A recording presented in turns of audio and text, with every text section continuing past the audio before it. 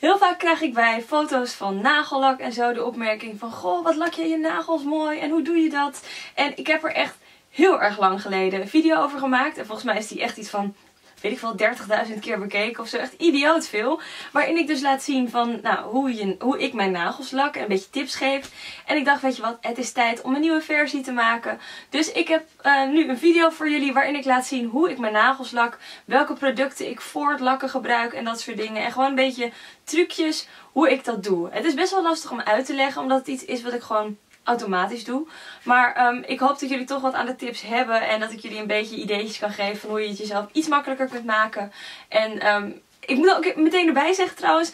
Toen ik begon met mijn website. Ik kon totaal mijn nagels niet lakken. En gewoon met oefenen, oefenen, oefenen is het goed gekomen om het zo maar te zeggen. Dus um, hopelijk uh, kan ik het jullie ook een beetje bijbrengen. Voordat je begint is het heel erg belangrijk dat je nagels helemaal vetvrij zijn. Wat ik zelf altijd doe is dat ik eerst mijn oude nagellakker afhaal en daarna was ik mijn handen goed. En daarna ga ik beginnen met lakken. Dus zorg gewoon dat er niet nog nagelriemolie of handcrème of wat dan ook op zit. Um, voordat ik mijn nagels ga lakken, breng ik eerst altijd een hydraterende gel aan. Ik gebruik ervoor deze van Trint. Dit is de Trint Nail Balsam. Is een van mijn favorieten die ik al heel erg lang gebruik. En die ga ik gewoon over mijn hele nagels aanbrengen.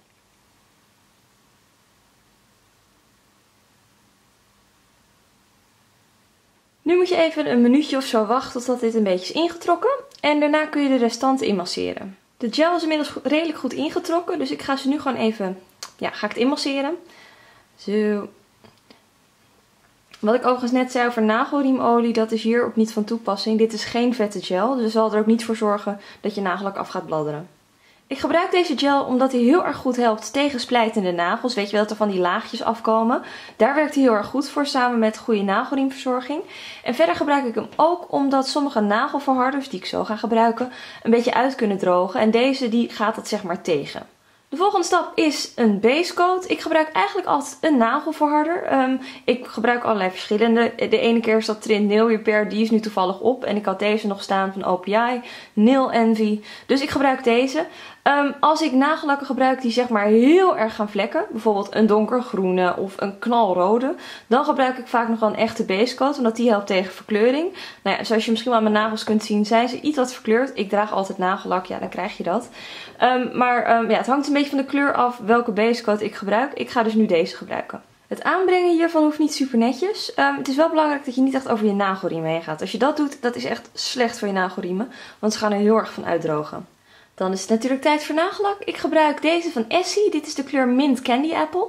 Dat is een beetje een mintgroene kleur. Als ik de nagellak uit het flesje haal, veeg ik altijd het kwastje even langs één kant af. Zodat er alleen nog aan de bovenkant van het kwastje nog nagellak zit. Vervolgens druk ik het kwastje op mijn nagel. Dat doe ik ongeveer in het midden. En strijk ik hem zo omhoog. Ik doe dat ook aan de zijkant. Het is een dun kwastje, dus ik heb hier even twee keer nodig. En aan de andere kant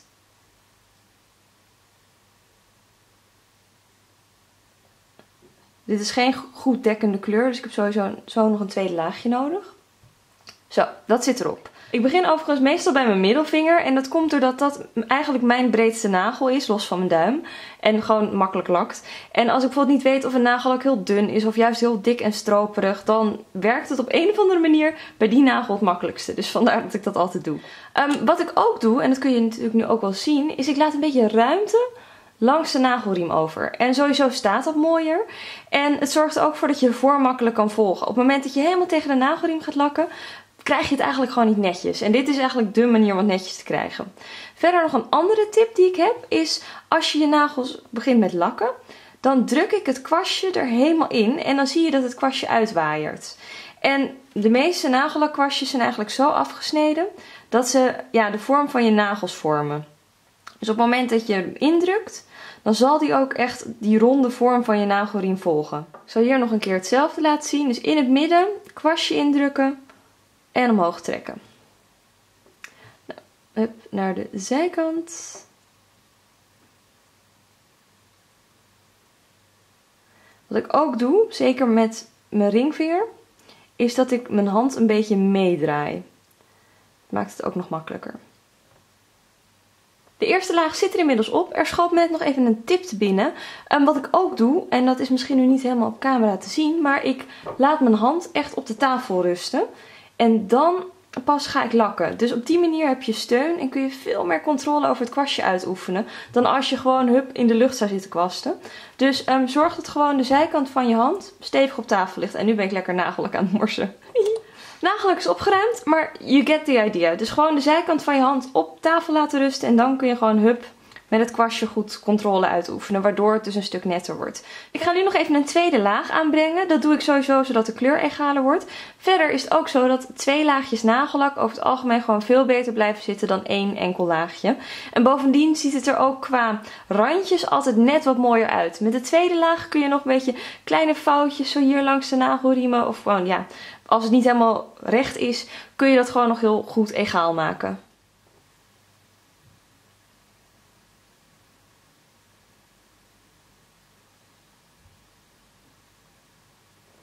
Toen maar net begon met mijn blog, toen was ik eigenlijk best wel slecht in mijn nagelslakken. En toen gebruikte ik heel vaak een trucje waardoor het er toch netjes uitzag.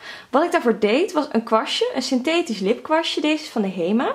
En dit is eigenlijk het perfecte kwastje ervoor. Ik heb nog nooit een betere gevonden. Volgens mij is deze, dit gewoon een lipkwastje.